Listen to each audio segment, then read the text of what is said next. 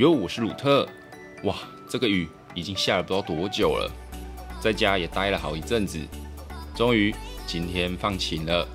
同时，我们也偷得浮生半日闲，很临时的决定用这短暂的时间出门骑车，不然闷在家已经闷到快发霉了。而这半天的时间可以说是变成我们在这个梅雨季中的救赎。说真的，如果可以有更多的时间，一定是会想要来一个没有一千公里不回家的行程。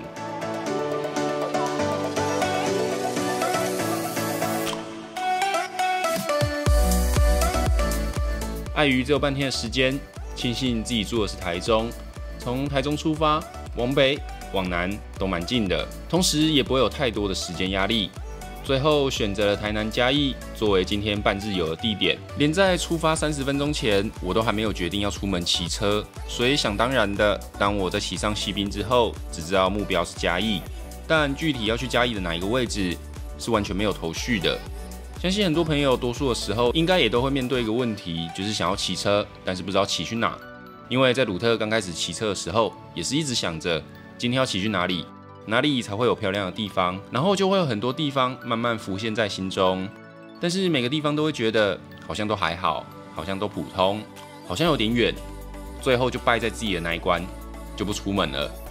不过在经过了这几年的漂泊之后，我发现最好的办法就是钥匙拿了插上去发动，先上路再说。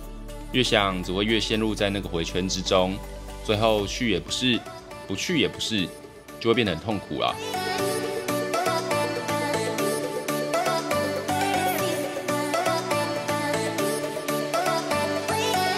而都说今天偷得浮生半日闲了，当然就是来一个海线行程啦。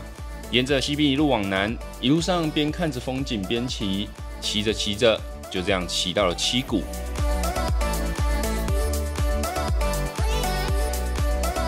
七股对我来说还是算是比较陌生的地方啦，因为以往都是在北门的时候就接到了台八四线往御景的方向去了，一路骑到七股，最后决定先来去最近很夯的。粉红余温朝圣一下，经过了北门之后的西滨，车潮明显减少了很多。陪伴我们的，除了很有缘遇到的上次带观众去德雅纳骑车的车友，剩下风景就是出现在快速道路两侧大量出现的余温。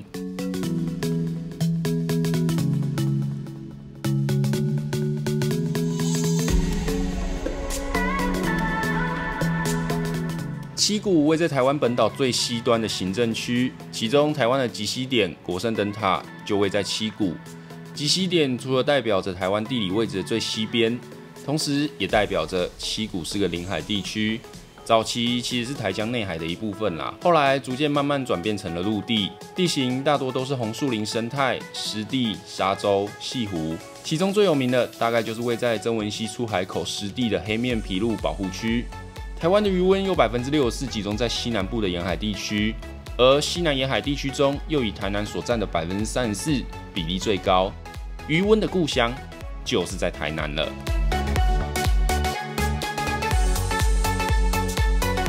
从高架上面一路下了西滨，沿着南三八乡道，经过不知道几座余温，最后我们终于来到了这个颜色看过去有一点诡异的粉红余温。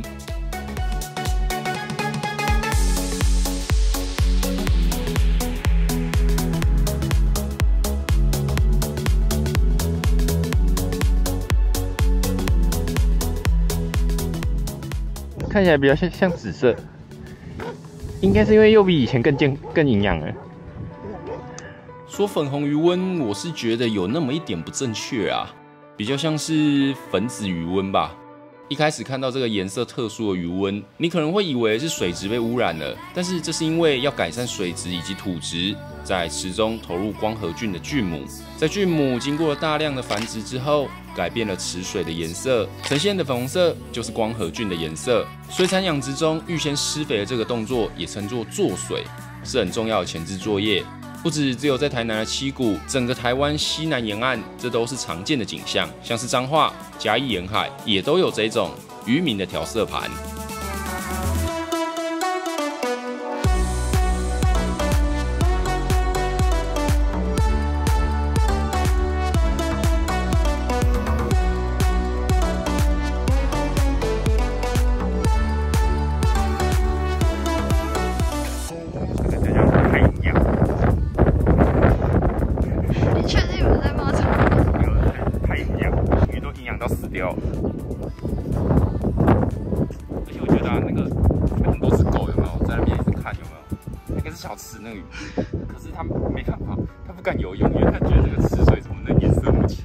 才刚说完，原本趴在鱼纹入口处的狗狗，应该是巴豆妖想吃鱼了。现场在表演完抓鱼秀之后，抓上岸，直接刻了起来。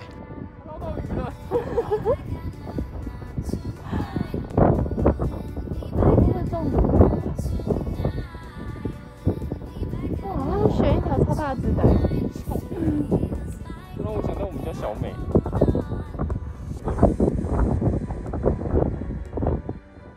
还是要很老实的跟大家说啦，不知道是不是这个余温的池水真的是太营养了，在余温的岸边漂浮着满满的鱼尸体。当天我到这边的时候，顺风的方向是没有什么味道的，不过我一走到逆风处，那个味道真的算是蛮刺鼻的。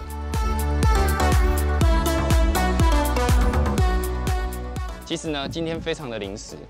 原本出门的时候想说没有要拍片，可是当我来到这边的时候，我还是决定啊啊啊，帮拍一下片，然后剪一下好了。我们现在我们现在人在旗鼓，那说实话，我对七股这个地方是非常的非常的陌生的，因为从以前骑车啊，我们西滨指到哪里七股，我们就必须要左转，如果要往台南市区的话，就要左转。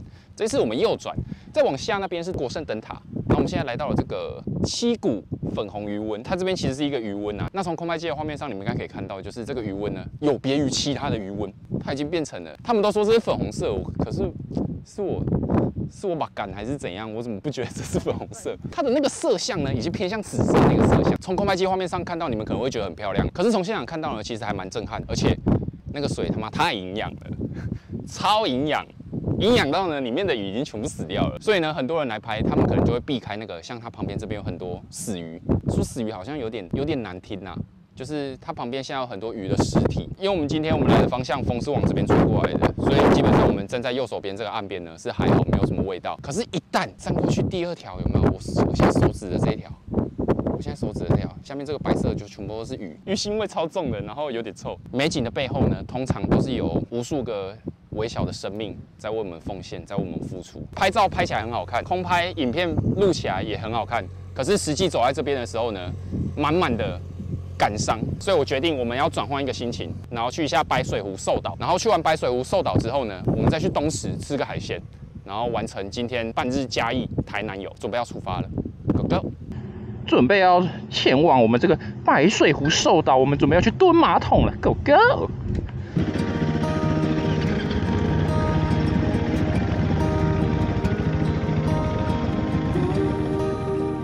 在这个粉红余温其实待了蛮久的一段时间的。接下来我们继续启程，准备往北骑，回到嘉义，去一个我已经笑想了很久，这一次终于有时间可以去的寿岛。即将前往的这个寿岛，我相信对很多人来说，应该是个不算陌生的地方啦。我在一开始就知道有这个地方的时候，也是一直就很想要去。不过近期因为时间的因素，没办法好好安排一趟短行程的轻旅行，就大概从去年拖到了现在吧。这次终于有机会可以前往，所以在离开了粉红鱼温之后，心情还是比较兴奋的。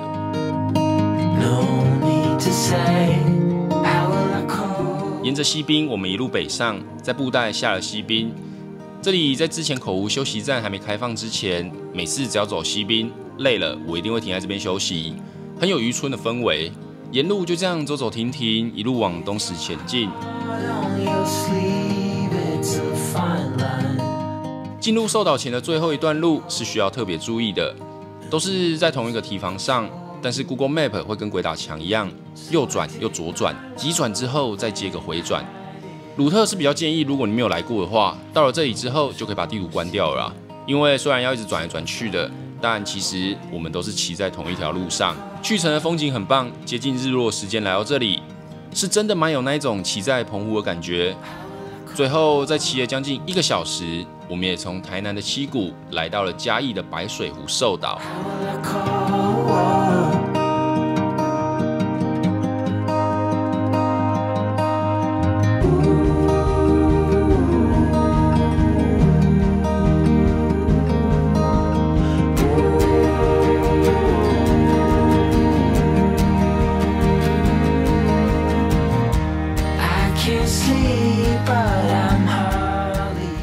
白水湖寿岛既不是湖，也不是岛，地名的由来有一个鲁特觉得非常美的缘由。白水这个名字是因为在每次海水倒灌之后，盐田的盐会呈现一片一片白色的沿海，也算是非常诗情画意了啊。虽然名字的由来诗情画意，但是现场的环境看起来却是如此的残破。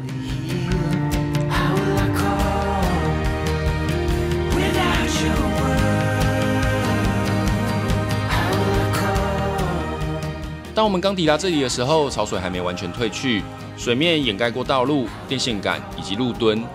过了大概三十分钟之后，原本的水面也很有感的逐渐下降。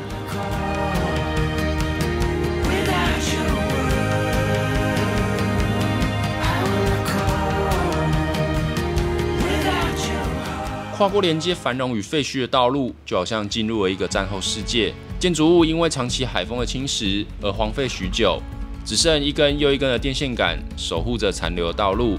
来到寿岛，时间不知不觉就好像冻结了一样。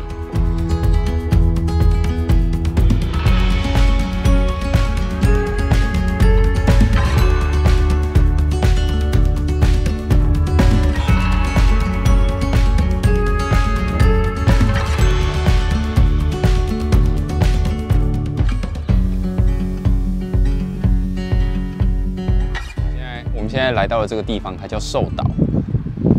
那这个明明就不是岛，你偏偏说它是岛，我也不知道它寿岛到底指的是哪一个岛。这里最特别有两个地方，第一个就是这个我们这条路，在涨潮的时候呢，我们海水会淹过去这个路面；退潮的时候呢，我们的路面会重新浮现出来。他们现在好像都会派两位那个海巡署的人员在这边驻港，他们的制服就是橘色的，非常非常帅气。露天厕所，大家来都会去那边苦本受。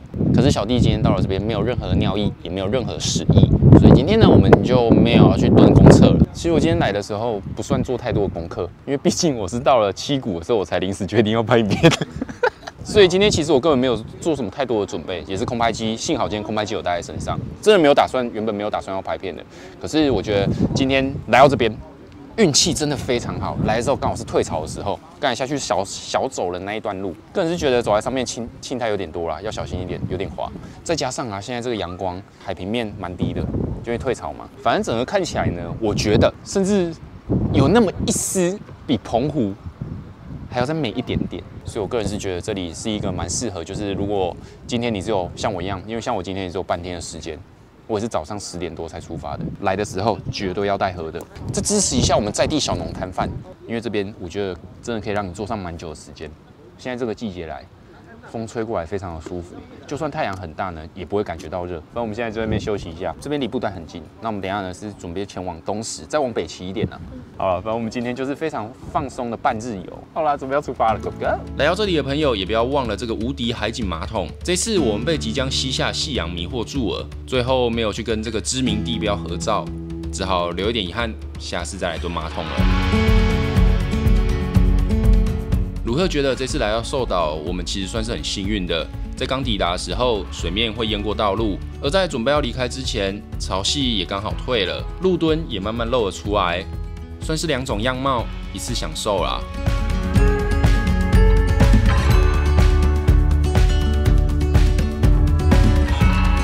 离开寿岛，时间也来到了接近晚上七点。在骑了将近三十分钟之后，我们也来到了东石渔港。准备在这里用科仔结束今天的半日游。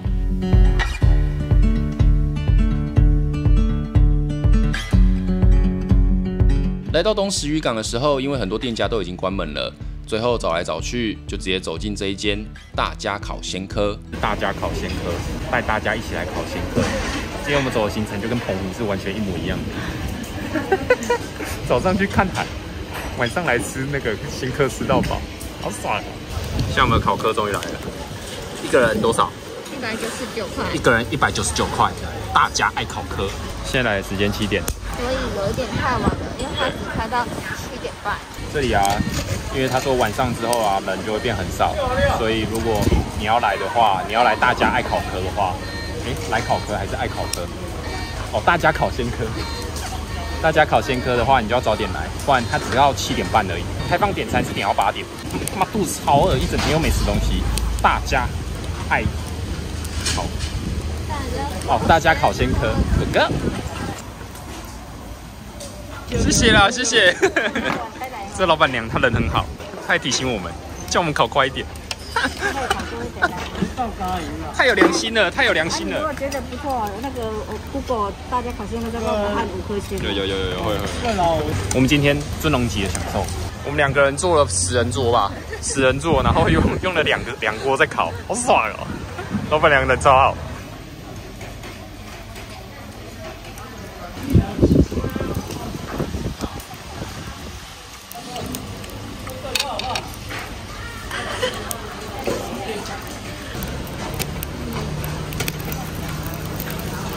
哇，没有，哦，你赶快吃。我觉得吃这个还有两个好处，第一个就是它吃的时候很好吃，第二个就是你打开它的时候很有成就感，因为一颗你可能就要开十分钟才打得开吧。